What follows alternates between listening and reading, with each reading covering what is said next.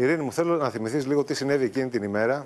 Ε, βλέπουμε ότι υπάρχουν συγκεκριμένες εργαστηριακές τιμές που δείχνουν και αυξημένο κάλιο και αυξημένο ζάχαρο. Τι ώρα λοιπόν τα ήσατε, κορίτσι μου γλυκό, τον Παναγιωτάκη εκείνη την ημέρα, θυμάσαι; 10.30. Ορίστε. 10.30. 10 και μισή το πρωί. 11 η ώρα πήγε που να του φτιάξει κρέμα, δεν την έφαγε. Ναι. Κατά 12 η ώρα πάλι πήγε να του δώσω γιαούρτι, πάλι δεν το έφαγε. Δεν το έφαγε. Δεν το ήθελα. Την προηγούμενη μέρα ο Παναγιώτης πώς ήταν, ήταν ευδιάθετος, είχε προβλήματα υγείας, πόναγε ας πούμε η κυλίτσα του, γιατί κάποιοι λένε ας πούμε, ότι ενδεχομένως να είχε πρόβλημα με το έντερο. Ε, ε, είχες παρατηρήσει κάτι εσύ; Δεν μπορούσαμε να το δούμε. Δεν μπορεί ο Παναγιώτης να μας πει ότι πονάει η κοιλιά του. Όχι, ρε παιδί μου, πώς το βλέπεις το παιδί, γιατί με τον Παναγιώτη Όχι, ήσουν είχε πάρα λίγη πολύ. γκρι, γκρίνια, είχε λίγο, αλλά του δώσαμε λίγο ντεπό. Νομίζαμε ότι είναι από τα δόντια του. Από τα δόντια. Ήρεμ- Ό, ήρεμος. όχι κάτι άλλο. Και εκείνο το πρωί λοιπόν ξυπνάει το παιδάκι, ήταν μια χαρά, δεν είχε κάτι; Ναι, δεν είχε. Δεν είχε κάτι.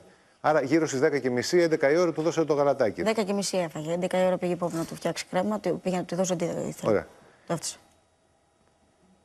Εσύ θυμάσαι αν ο Παναγιώτης διακομίστηκε, το μεταφέρατε δηλαδή ζωντανό ή νεκρός στο νοσοκομείο; Κύριε Πέτρο, εγώ καταλάβαινα ότι παίρνει ένα. Δηλαδή από την κοιλιά του το καταλάβαινα. Τι είδες, Ρε Ειρήνη, θέλεις να, να το θυμηθείς; Γιατί μας έχει μιλήσει και η Πόπη. Θα δούμε τι μας λέει σε λίγη ώρα. Ε, και μας δίνει, μας δίνει μια άλλη εικόνα. Μας λέει ότι το παιδί ήταν μελανιασμένο και ήταν, ότι ήταν η γλώσσα του έξω όταν βγήκε από, τη, από την τουαλέτα. Δεν ήταν ακριβώς όλη η γλώσσα έξω. Τι ήταν; Ο Παναγιώτης πάντα είχε ανοιχτό το στόμα. Δηλαδή και που καθόταν ανοιχτό ήταν το στόμα του. Ήταν ένα τάκ η γλώσσα του έξω. Αλλά μελανιασμένο είχε. Όχι. Δεν το λέτε μελανιά αυτό. Ήταν από την αριστερή μεριά. Από την αριστερή. Ναι. Γιατί ήταν έτσι. Το σήκωσε πόπου. Δεν κράταγε το κεφάλι όρθιο, δηλαδή ήταν γυρτό Ναι. το κεφάλι. Πάντα έτσι. Όχι, έτσι τον βρήκε πόπη. Εσύ, εσύ τον Δεν το είδες, παρατήρησα. εσύ τον Η είδες Πόπη, πρώτη ή η Πόπη. Πόπη. Η Πόπη. Εσύ που ήσουν εκείνη την ώρα; Σφουγγάριζε. Σφουγγάριζε. Άρα σε ειδοποιεί εσένα η Πόπη και πα Ναι. και το βρίσκεις έτσι το παιδί. Και του έκανες κάρπα, του έκανες κάποιες κινήσεις, Και του προσπάθησες. έκανα λίγο έτσι εδώ πέρα και όπως πάω να του δώσω αέρα, αρχίζει και έβγαλε αυτό το ανεμετό που είπαμε. Ναι.